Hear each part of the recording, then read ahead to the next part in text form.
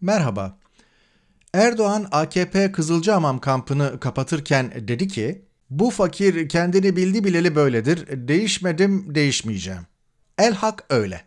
Erdoğan'ın bar fedailiği yaptığı yıllardan kalan jargonu kullanmaya başlaması, tıkandığı, laf üretemediği anlamına geliyor.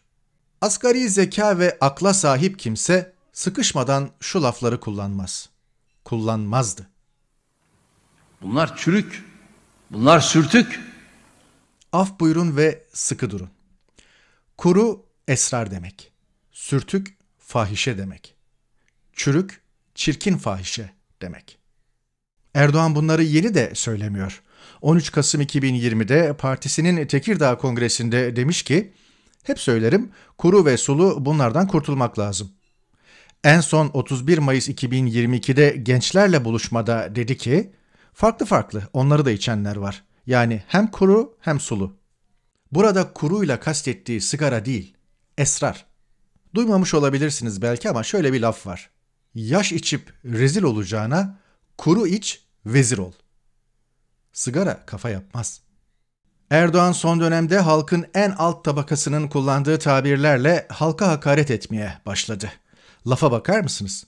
Vergileri devamlı artırıyoruz. Hem suluda artırıyoruz hem sigarada filan artırıyoruz.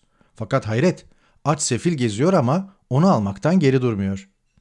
Burada iki mühim itiraf var. Birinci cümlede yaşam tarzına müdahale ettiğini kabul ediyor.